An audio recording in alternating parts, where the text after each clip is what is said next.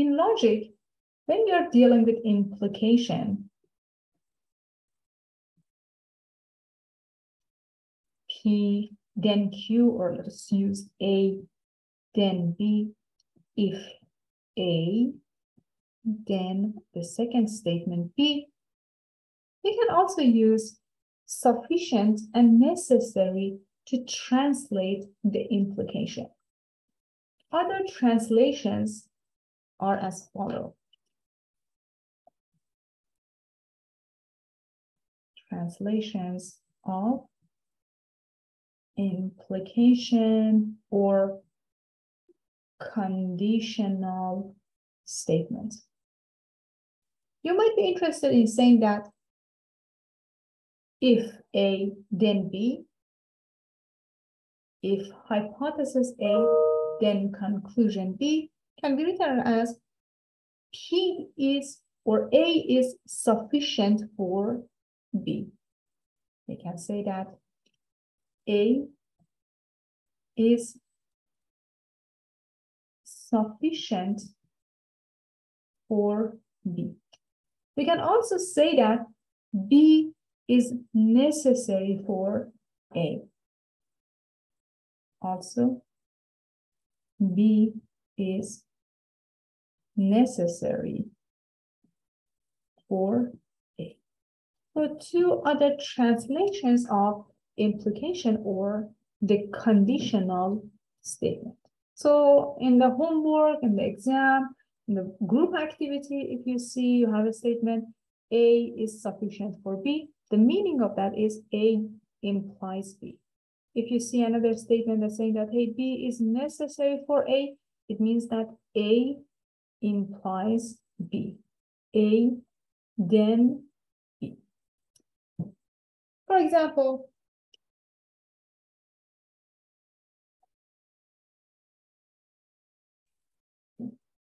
suppose you have two statements. Statement P says a person obeys the law.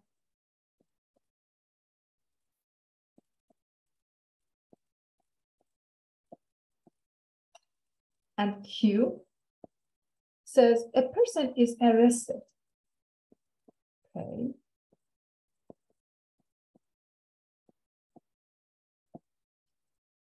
Suppose I ask you to translate the following. The very first one says, being arrested is necessary for not obeying the law.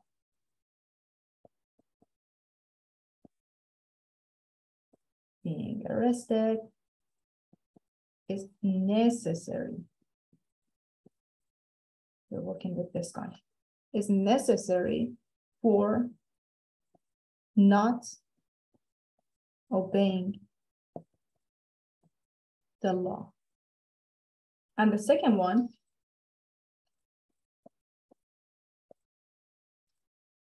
second one says, obeying the law is sufficient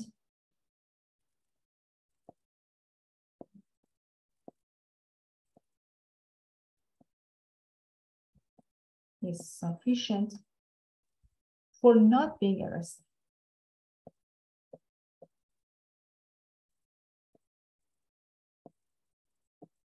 there. So let's see what we have here. Have necessary here. We call that, we just introduced necessary. B is necessary for A, it means that A implies B. So the person does not obey the law what happens? Then that person is arrested. This is going to be your A, and this is going to be your B. We can rewrite this as a person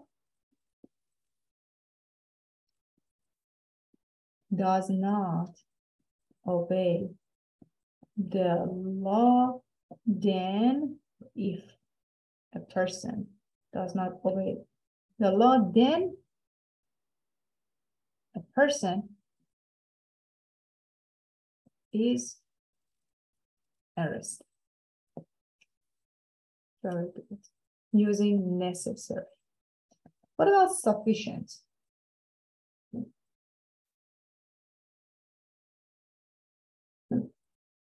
Remember that A is sufficient for B, A implies B. We have sufficient here. Obeying the law is sufficient for not being arrested. Or a person, if a person obeys the law, then a person is not arrested. So here you have your A, then B. You can write this as, well, if a person obeys the law, then a person is not arrested.